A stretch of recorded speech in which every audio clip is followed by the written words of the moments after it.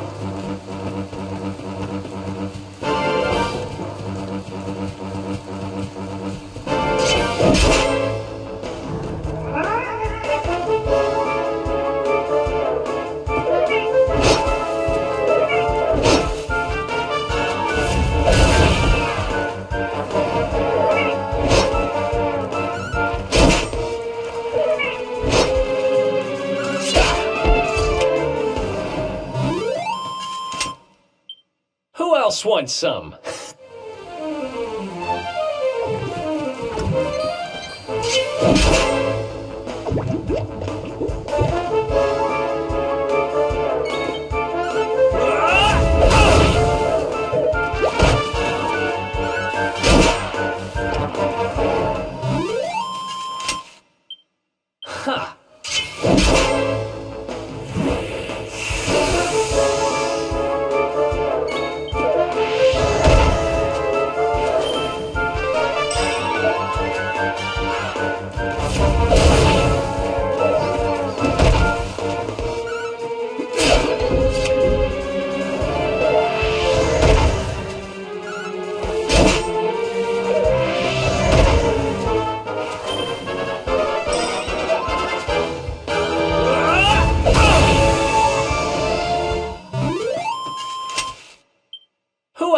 Else wants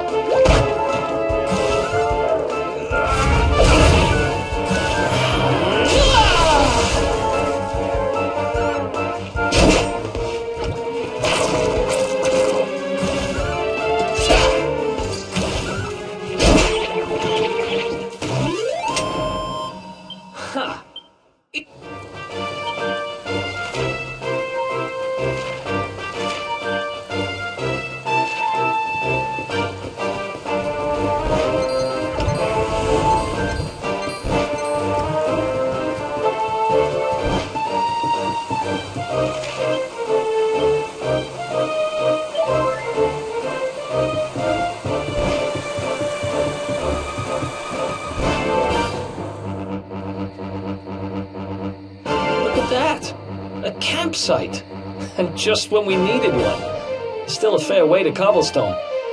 Let's rest up for the night.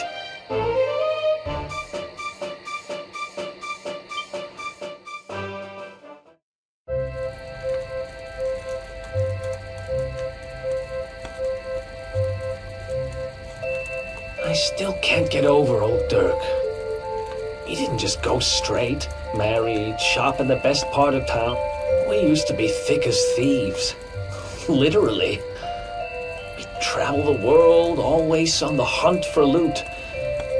Uh, oh, speaking of which, I just thought of something we acquired back then that might come in handy. Yep, I've decided. I'm giving it to you. You'll love it. We sure did when we got our hands on it. Behold, the fun size forge. Pop a few raw materials on top, bash bash 'em with the porta pounder, and Bob's your uncle. New equipment. And I'm not just talking steel swords and the like. Wooden boomerangs, a natty new jerkin. You name it, this thing can make it. Sweating over a hot forge was never exactly my style. But I have a feeling you'll get more use out of it than I ever did. You can't just go smashing stuff together willy nilly, though. You'll need the recipe for the piece of equipment you want to make. Here's a little something to get you started. You should strike while the iron's hot.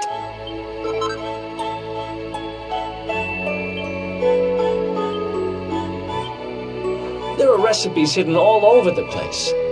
Treasure chests and bookshelves are always a good bet. Keep an eye out, and you're sure to find some beauties.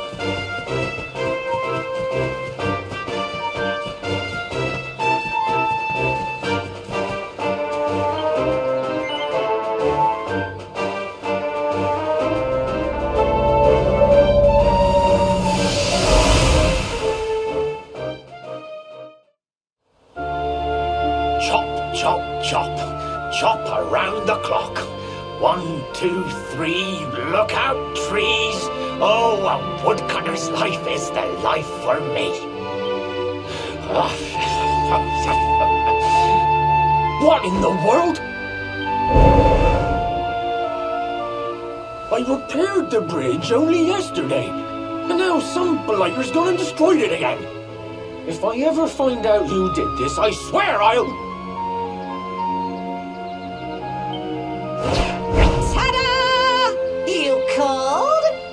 Tricky devil at your service. I went to a lot of trouble to smash at this stupid bridge. I'm not about to let you fix it again. Here, get a load of my devilishly tricky shapeshift beam.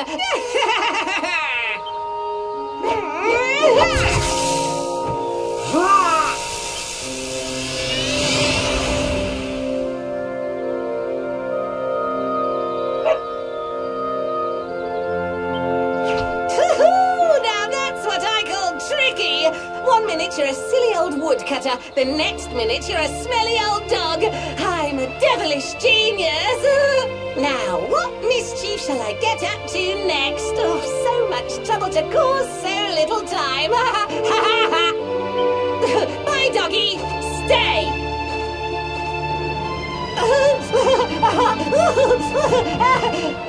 Ooh. Treasure chest! I think I've just hit upon my most devilish trick yet!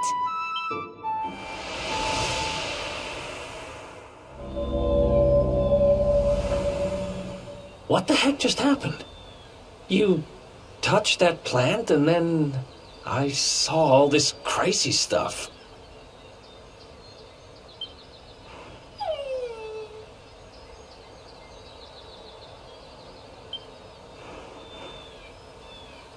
Really expect me to believe that this mutt here is actually the woodcutter? Huh. There's never a dull moment with you around. I'm gladder every day I broke you out of jail. Well, all I know for sure is that we're never going to get out of this forest until we get that bridge fixed. And if what we just saw was true, Rover here is the only one who can fix it. Why don't we find that chest and have a word with our mischievous friend? Let's head back the way we came and see if we missed it somewhere.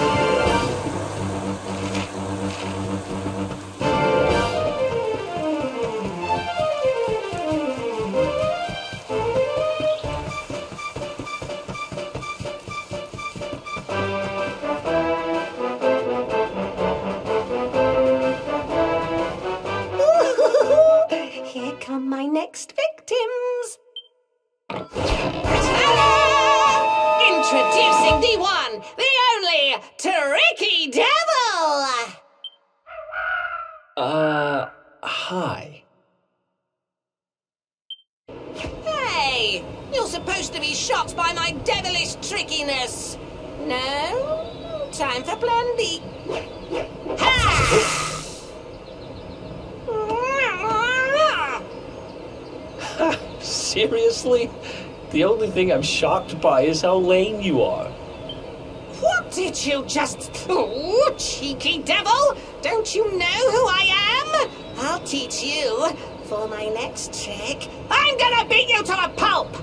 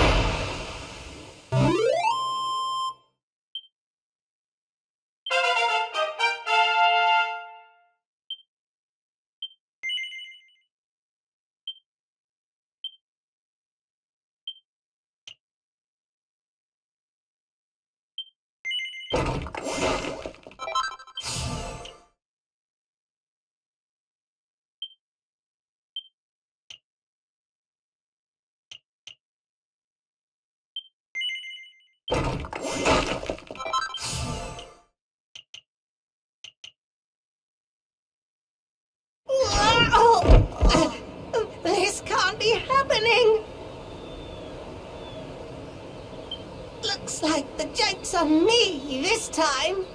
Eh. Hey there! You two! Oh, look! It's our pal the Pooch!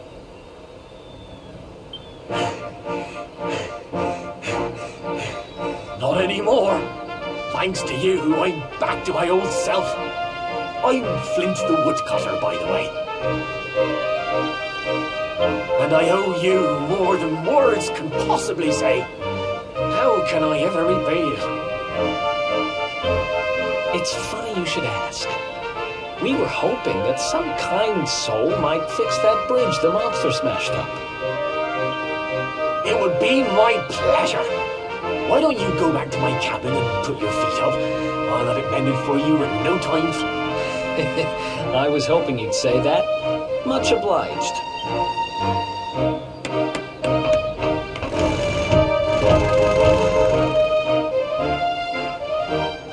Sorry to have kept you waiting, but I'm happy to announce that the bridge is fixed. In fact, it's even sturdier than ever.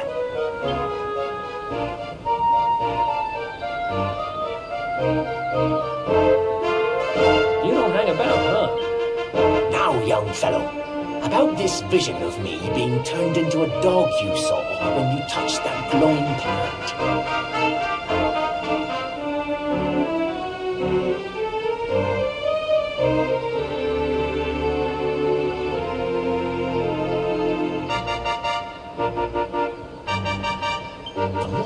Think about it, the more certain I am. What you experienced can only have been the guidance of Yggdrasil.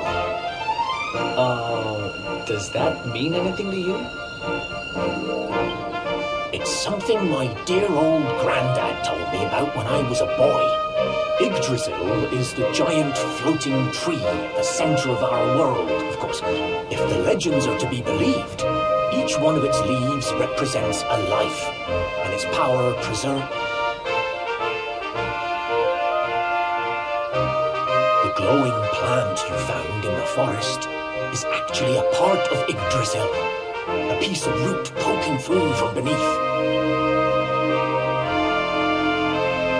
It's said that the world tree can choose to communicate via her roots, but only with certain very special people. And that's what my granddad meant by the guidance of Yggdrasil. He was talking about just such visions as you saw. it's all coming back to me now. As a boy, I'd spend hours talking to the silly old thing, but did anything ever happen? Not a bit of it. But you, young man, you're different. You're one of the special ones, chosen by the World Tree. And you've got grey hair, too. Life just isn't fair. so not only are you the luminary, you're also Yggdrasil's favorite little leaf, huh? Some guys have all the luck, I guess. Well, we can't stand around talking about how great you are forever. Come on,